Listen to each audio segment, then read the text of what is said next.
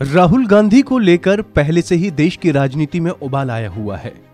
कांग्रेस राहुल के पक्ष में आए दिन प्रदर्शन कर रही है। वहीं राहुल गांधी द्वारा सावरकर को लेकर दिया बयान उनके गले की हड्डी बनता जा रहा है। दरअसल अब सावरकर के पोते रंजीत सावरकर ने राहुल गांधी को चैलेंज दिया है कि वो ये साबित करके दिखाएँ कि सावरकर ने अंग्रेज़ों से माफ़ी मांगी। आपको बता दें कि 25 मार्च को राहुल गांधी ने एक प्रेस कॉन्फ्रेंस की थी और इसी प्रेस कॉन्फ्रेंस में राहुल गांधी ने बीजेपी पर निशाना साधते हुए सावरकर का नाम लेकर हमला किया था।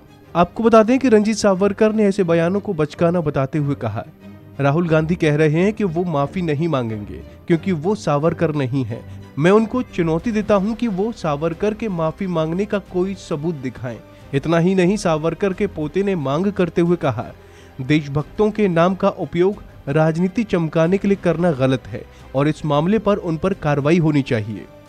दरअसल, बीते हफ़्ते, शुक्रवार 24 मार्च को सूरत की एक अदालत ने कांग्रेस के पूर्व अध्यक्ष राहुल गांधी को आपराधिक मानहानि मामले में दोषी पाया था और उनके दो साल कैद की सजा सुनाई थी। राहुल गांधी को दो साल की सजा मिलने के बाद वहीं पर उनको जमानत दे दी गई थी और फैसले के खिलाफ अपील करने के लिए तीस दिन का समय दिया था। इसके बाद लोकसभा में राहुल गांधी की सदस्यता को रद्द कर दिया गया, जिसके जवाब में कांग्रेस सहित सभी विपक्षी दल सड़कों पर उतर आए और उन्होंने सरकार पर राजनीतिक रूप से निशाना बनाने का आरोप लगाया। राहुल गांधी ने इस मामले में अदालत में माफ़ी मांगने से इनकार कर दिया था। गौर हो कि राहुल गांधी द्वारा सावरकर पर कोई पहली बार ऐसी टिप्पणी नहीं की गई है। इससे पहले साल 2022 में भारत जोड़ो यात्रा के दौरान राहुल गांधी ने महाराष्ट्र के वाशिम ज़िले में एक रैली में सावरकर को लेकर निशाना साधा था। उन्होंने कहा था कि एक और बिरसा मुंडा जैसी महान शख्सियत है, जो अंग्रेज़ों के सामने झुकी नहीं, और दूसरी ओर सावरकर हैं, जो अंग्रेज़ों से माफ़ी मांग रहे थे। उन्होंने कहा था कि सावरकर जी, दो तीन साल उन्हें अंडमान में बंद कर दिया तो उन्होंने चिट्ठी लिखना शुरू कर दी कि हमें माफ़ कर दो। राहुल ने एक चिट्ठी पेश करते हुए दावा किया था कि ये सावरकर ने लिखी थी।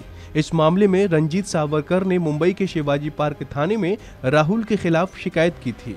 खैर, राहुल गांधी की लोकसभा सदस्यता जाने के बाद तमाम विपक्ष उनके साथ खड़ा दिखाई दे रहा है।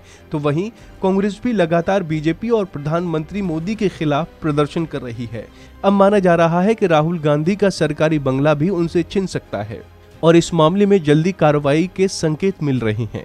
तो दोस्तों, उम्मीद है आपको हमारी ये जानकारी पसंद आई होगी। ऐसी ही तमाम अपडेट्स के लिए आप देखते रहिए वन इंडिया हिंदी।